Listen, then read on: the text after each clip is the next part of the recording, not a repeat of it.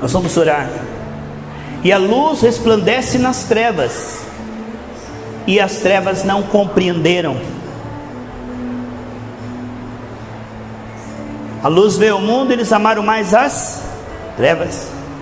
Há uma versão que diz que as trevas não prevaleceram. É no sentido de as trevas não penetrar, não discernir e não captar. Você é um canal de bênção, irmãos. Você é este tesouro escondido num campo. Bem-aventurado aquele que andar com você, conversar com você, porque até a tua sombra tem virtude. Quando algo realmente é de Deus, será desprezado. Só porque Davi era segundo o coração de Deus, ele foi desprezado pela sua esposa, pelo seu sogro, pelo seu filho, pelo seu vizinho, pelo gigante, pelos inimigos, por todos. Então, nós não procuramos a aprovação dos homens, e vemos que o mundo está perdendo aquilo que nós estamos aproveitando. Somos bem-aventurados, irmãos, por termos essa presença e essa palavra que agora há pouco o pastor Vils trouxe. O mundo gasta o seu tempo e o seu dinheiro naquilo que não é pão. E nós estamos neste 2017 convictos de que vamos frutificar, de que vamos meditar na palavra, aleluia. Vamos colocar no centro do nosso jardim a árvore da vida. As pessoas têm tempo para tudo e desculpa para tudo. Mas quanto a nós, firmes e constantes, vamos nos encher do Espírito Santo e vamos ser luz nas trevas. 1 Coríntios capítulo 2, versículo 15 para nós orarmos, diz que o homem e a mulher espiritual, ele discerne tudo, muito bem, mas de ninguém ele é discernido. Você tem um monte de coisa boa para passar, irmãos, e as pessoas passam por você e dizem: Ah, é? Já falou? Tá, agora eu vou ouvir o outro. O que você tem para falar? E não discernem que você é um canal de bênção, de milagre, de glória Quantas pessoas passaram por você e não discerniram a glória de Deus na sua vida? Que pena. Passaram e foram fazer lá sacrifício na fogueira. Deus os abençoe. Espero que não queime tudo. Mas o homem espiritual discerne, irmãos. Você tem coisas boas para passar para as pessoas. Você tem algo realmente de Deus, genuinamente de Deus. E somente os 300 dos 32 mil de Gideão que vão discernir. O restante vai dizer assim: esse Davi aí? Esse ruivo aí? É. Eles olham para o campo, mas não discernem o campo, que no campo tem um tesouro escondido. E o tesouro escondido aparece quando você abre a sua boca, irmãos você tem sabedoria de Deus, unção de Deus, amor de Deus, a bênção de Deus está com você. Quem andar com você vai prosperar, vai sarar. Então eu te digo, queridos, quem não valoriza você tem mau gosto, porque você é uma benção, porque Jesus está no seu coração. Então não, não se importe com o desprezo de 99,9%, mas invista naquele 0,1%, porque você vai levar muitas pessoas para o céu com você. O avivamento é isto, estar preparado para ajudar pessoas a se voltarem a Jesus. E é exatamente isso que estamos aqui nessa noite. Você vai trabalhar, você vai produzir, você vai para a faculdade, você tem sua casa, sua família, mas tudo isso junto com Deus, lembrando sempre de estar junto com os irmãos cheios do Espírito Santo. Amém? Vamos se colocar em pé. Let us pray together. Vamos orar, meus amados irmãos. Vamos orar. Se você puder vir para frente, come forward, please. Vem até aqui. Vamos orar. Vamos orar, irmãos, como o pastor Vils falou. Avivamento não é uma coisa espetacular. Avivamento é algo humilde e manso. As coisas de Deus não é com alarde. Jesus não fazia alarde, ele fazia misericórdia. Amém? Irmãos, a palavra de Deus não é fantasia, Jesus não é fantasia, é verdade, é realidade. As coisas invisíveis são mais reais do que as visíveis, porque as visíveis passarão, mas as invisíveis são para sempre. Ah, você crê aí nesse Deus, esse amigo imaginário, Jesus? Jesus é mais real do que essa pessoa que está do seu lado. A palavra de Deus, ela é verdade. Sabe como é que você vê isto? Deixa eu dizer uma coisa para você. Você não vê o vento, mas você percebe os seus efeitos. Sabe como é que você sabe que a palavra de Deus é verdade? Na vida daqueles que abraçam e na vida daqueles que desprezam, você verá que ela é verdade.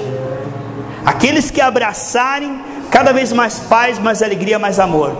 Aqueles que desprezaram a palavra, olhe para eles, estão indo de mal a pior. Isso prova que a palavra de Deus é a verdade. Aquele que abraça aquele que a despreza. Você pensa que Deus está trabalhando no sonho, nós estamos aqui? Ó, a sua nuvem de graça, a sua chuva de graça, está nos fortalecendo aqui. Mas aqueles que podiam estar aqui desprezaram, Deus permitirá certas coisas para que eles vejam que a palavra de Deus é verdade. Quem não pode vir, Deus perdoa. Mas quem brinca com a santificação e serve a Deus relaxadamente, Deus tem como tratar, porque tem a edificação e tem a aflição. A fornalha da aflição é para aquele que despreza a correção. Quem aceita estar na olaria de Deus ficará forte, mas aquele que despreza o Senhor será humilhado. Você sabe, existe uma faculdade chamada a faculdade do fracasso. É a única que o soberbo aprende alguma coisa. Tudo que ele fizer vai dar errado, até que ele coloque Deus em primeiro lugar, aí as coisas começarão a dar certo. O soberbo despreza Deus, mas o humilde diz: Deus em primeiro lugar em 2017. Aonde estiver, no trabalho, em casa, na rua, Deus está olhando para mim. Foi o que José disse? Não, patroa, você pensa que não tem ninguém aqui, não, mas tem sim, Deus está aqui comigo, me olhando e me vendo o tempo todo. Deus existe, irmãos. Um dia todo mundo vai descobrir isso, todo joelho se dobrará, toda língua confessará. Mas hoje nós não precisamos nem ver com nossos olhos físicos, nós temos certeza. Deus existe e nós escolhemos a melhor parte e não será tirada. Deus, o avivamento está chegando, não só aqui na Gerados pela Graça, mas em muitas igrejas, Pai. Muitas placas, porque a igreja é uma só. E o Senhor vai levantar um povo humilde, temente, um povo que te leva a sério, um povo que não está misturado com mundanismo, carnalidade, mas um povo todo seu, zeloso, especial de boas obras. Pai. Um povo que renuncia tudo que não é de Deus. Pai, porque não, não basta dizer que vamos seguir ao Senhor, porque aquele que diz, Senhor, eu seguirei o Senhor o Senhor disse: Mas tem isso e isso para renunciar. Não basta escolher o Senhor, é preciso renunciar tudo que não é do Senhor. Porque essas bagagens não permitirão nós entrarmos na porta estreita, Pai. Pai, o avivamento virá de pessoas que colocam o Senhor em primeiro lugar durante algum tempo. Deixe-me te dizer uma profecia do Senhor. Você coloca o Senhor em primeiro lugar algum tempo, e parece que as coisas pioram. Você honra o Senhor e parece que Ele esqueceu você. Você busca o Senhor e parece que nada está acontecendo.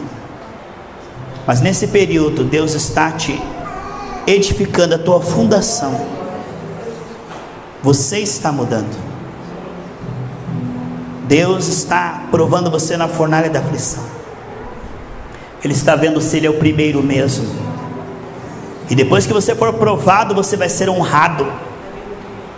Você honrou o Senhor, você fez escolhas sábias.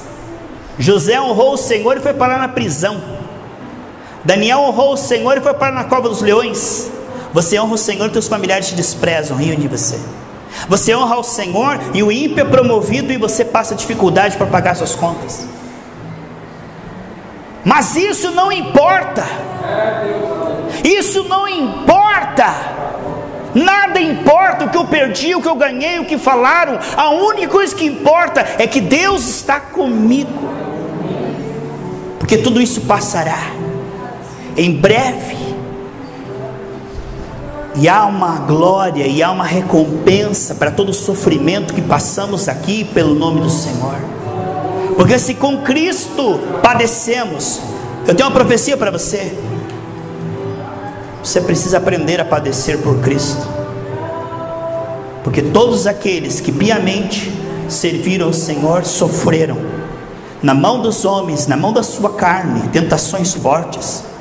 Passaram por aflições, perseguições, injustas, calúnias. Todos. Todos. Eu digo, todos todos.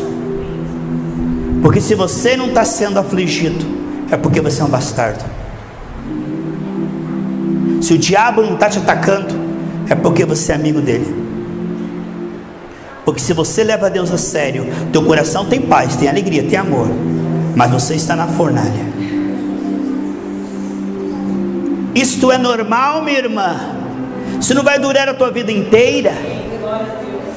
Não, eu vou fugir da aflição, vou resolver minha vida, vou fazer isso, vou fazer aquilo, eu vou fazer como Jonas. Vai! Foge da aflição, faz do teu jeito. Pega a tua vida e diz: Ó, oh, eu dei para o Senhor, mas eu vou tomar de volta aqui, eu vou fazer do meu jeito. Vai! Porque com Deus temos aflição com paz, sem Deus nós temos aflição sem paz. Muitos hoje estão em depressão porque brincaram com a santidade de Deus como Sansão. Muitos não têm paz, porque rejeitaram o príncipe da paz. Mas você que está aqui, digo: o avivamento não vai começar nessa cidade, vai começar no meu coração. Não espere que o avivamento comece na sua empresa, no seu vizinho, não espere que o avivamento comece no seu patrão, que ele vai ficar legalzinho de uma hora para outra, no seu filho, que vai parar de brigar com você. Não espere avivamento aqui fora. O avivamento tem que começar primeiro dentro de você. O avivamento não vai começar na sua conta bancária, o avivamento não vai começar no seu corpo, o avivamento não vai começar no governo, na política, o avivamento vai começar na sua fé. Porque se você mudar, você tem o controle dos demônios, você manda no reino espiritual. E esse, esse Brasil precisa de homens e mulheres que tenham autoridade espiritual. Daniel orou 21 dias e Deus trouxe o cativeiro e Esdras e Neemias reconstruir a cidade. Se você estiver na posição, crê no Senhor Jesus, sabe o que ele vai fazer?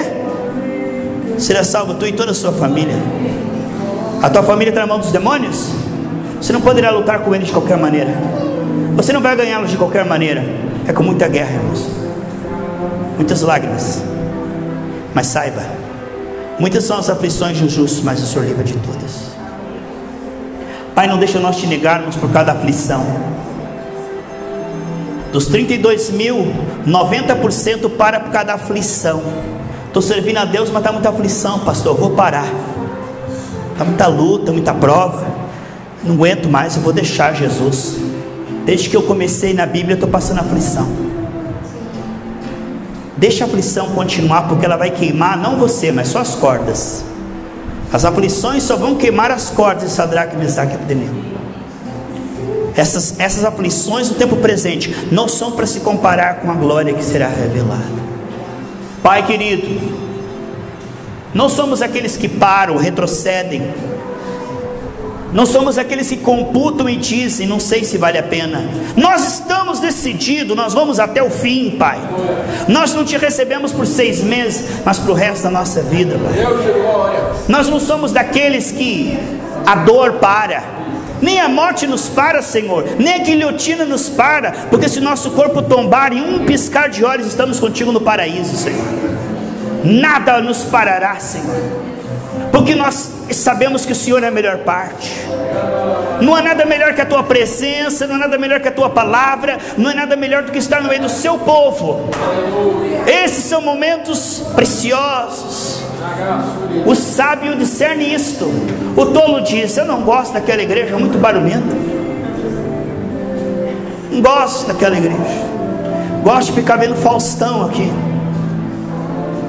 Mas aquele que tem bom gosto, ele escolhe a melhor parte.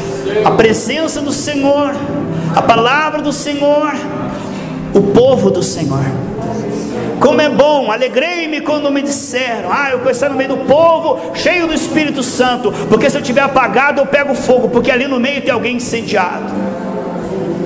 E um irmão ou outro ajuda, um dom de um para o outro, a consolação, a manifestação dos dons, ó oh Pai. Pai, nós vamos sair daqui por uma semana cheio, tanque cheio, Pai. Não como esse tanque desse rapaz que parou no meio do caminho. Nós vamos sair daqui com o tanque cheio, Pai. Cheio da tua sabedoria, cheio da tua glória, cheio da tua alegria, cheio de, de graça, de unção, de fé. E o que vier na nossa frente vai cair, Senhor. Todo o mal vai cair, porque o Senhor é maior, o Senhor está conosco. Não temos medo da crise, não temos medo de demônio, de macumba, de feitiçaria, de bruxaria, não temos medo de nada, porque o Senhor é conosco, isso nos basta, Pai. Aonde nós pisarmos vai ter cura, pessoas acordarão do coma, aonde nós pisarmos vai ter milagres, demônios sairão gritando, doenças desaparecerão, porque nós nascemos para trazer glória para o Seu nome, sinais, prodígios, maravilhas milagres, Pai. Nós nascemos é para isto, para ser cheios da Sua glória, Pai, ser cheios do Seu amor, Pai. E essa semana o mundo vai ver Jesus em nós, Pai. Essa semana, Pai, há um impacto da Tua glória que vai tocar muitas vidas através de nós. Em nome de Jesus, amém? Amém, Jesus. Vamos orar porque não está aqui, amados tem um caderno aqui, vamos fazer pedidos agora. Você pensa naquela pessoa, quer incluir a esposa do irmão Daniel que desmaiou e a batedeira lá da empresa cortou do punho até aqui. E ela só não morreu porque a artéria milagrosamente não estourou, senão ela teria morrido. Vamos orar também pela mãezinha do Silvano que está se recuperando lá em coma. Pensa agora naquela pessoa o pai do Diógenes, a sua mãe também, né? Vamos orar agora. Feche os seus olhos, pense em Deus e apresente a Deus essas vidas preciosas. Deus é o Deus de perto, Deus de longe. Não é como aquela música profana lá, diz que é gospel, né? Mas és Deus de perto e não de longe. Só se o teu Deus é este, porque o nosso é o Deus de perto e Deus de longe. Ele está em todo lugar. Senhor, agora a tua unção vai viajar na velocidade mais rápida. O Senhor envia 12 legiões de anjos, Pai. Quando nós oramos, Pai, o Senhor envia graça, unção, cura, prosperidade. O Senhor muda corações, o Senhor transforma vidas. Aquele centurião disse: Meu filho está doente, mas o Senhor disse: Está curado. E quando ele chegou lá, na mesma hora que o Senhor falou aquela palavra, a tua palavra foi lá e despedaçou aquela doença. E eu creio, Pai, agora, essas pessoas citadas aqui, essas pessoas citadas no caderno, meu Deus, e pessoas que estão sofrendo agora em hospitais, leprosários, fazendo hemodiálise, quimioterapia, radioterapia, pessoas que estão agora em hospícios, estão sofrendo agora, Senhor, no manicômio, nas calçadas, nas sarjetas, no vício, nas seitas, Salva essas vidas, Pai.